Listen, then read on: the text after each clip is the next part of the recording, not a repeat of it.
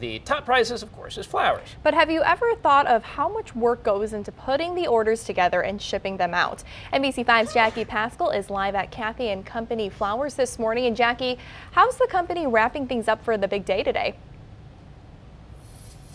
So, David Alice, Kathy Spear is really bringing new meaning to the name of her uh, shop. She's really adding some extra company to make sure those flowers are as fresh as possible for delivery. Snipping, singing, and wrapping.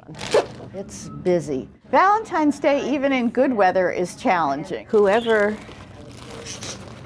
picked Valentine's Day in February was not thinking of Vermonters. Kathy and Company florists working through a snowstorm to get their fresh flowers ready. And this is a pretty small store for that many people, but you know, we do what we can do. How many people and flowers exactly, Spear isn't sure, but she does bring in extra help to get the job done. We go from one driver who works about two thirds of a day to five drivers that are working all day.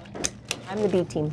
I come in for Valentine's Day, Mother's Day, once in a while, if she prom season. Ginger Morton has been helping the shop prep and package for eight years. Pure enjoyment. Working the holiday, the shop employees' Valentines become each other. My, my sweetie and I had Valentine's dinner on Friday last week.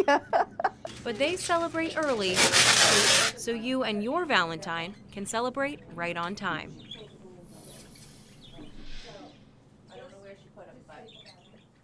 Now, uh, Kathy and her company are very, very excited for the holiday today. They said that the delivery drivers are all coming in starting at 7:30 this morning. They're going to be scattered out throughout the morning, and maybe they'll even be delivering some flowers and a smile to your door. Luckily, they're not dealing with the snow that they had yesterday.